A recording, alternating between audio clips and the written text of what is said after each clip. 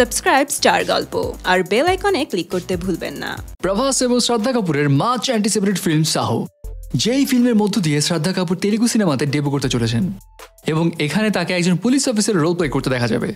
অন্যদিকে প্রভাসকে এখানে একজন মডার্ন স্পাই রোল প্লে করতে দেখা যাবে, যেই রোলে তাকে এর আগে কখনো দেখা যায়নি। এখন যেদিন থেকে এই ফিল্মের অ্যানাউন্সমেন্ট এসছে, সেদিন থেকেই তো এই ফিল্ম নিয়ে বাস শুরু হয়ে গেছে।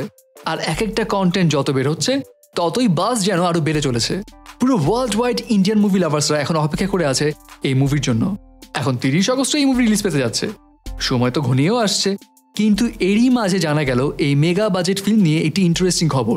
সেটা হচ্ছে প্রভাস, সাহো মুভি নিয়ে কত টাকা রেমুনেশন নিচ্ছেন সেটা নিয়ে একটা ইন্টারেস্টিং নিউজ ইন্ডিয়ান টুডে এবং পিঙ্ক ভিলা সহ বিভিন্ন গণমাধ্যমে লেখা হয়েছে যে, শোনা যাচ্ছে প্রভাস নাকি সাহোর জন্য একশো কোটি রুপি পেয়েছে।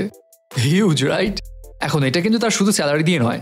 সেই সব গণমাধ্যমে লেখা হয়েছে, প্রভাস তার স্যালারির পাশাপাশি এই মুভির প্রি রিলিজ বিজনেস অর্থাৎ মুক্তির আগে রাইট সেলিং এবং অন্যান্য আরও কিছু জায়গা থেকে যেই প্রফিটটা হবে, তার কিছু পার্সেন্টেজ চার্জ করেছে।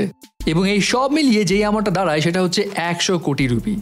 এখন যদিও এটা নিয়ে অফিসিয়াল কোনো কনফার্মেশন আসেনি বাট যদি এটা আসলেই সত্যি হয়, তাহলে প্রভাস কিন্তু এই রেমুনারেশনের দিক দিয়ে সালমান খান, রজনীকান্ত, অমিতাভ বচ্চন এমনকি আমির খানকেও একেবারে পিছিয়ে ফেলে দিবে। এবং ইন্ডিয়ান হাইস্ট পেইড অ্যাক্টর হিসেবে নিজের নাম লেখাবে।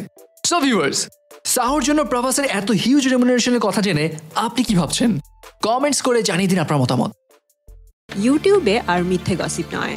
সত্য খবর পেতে সাবস্ক্রাইব করুন স্টার গল্প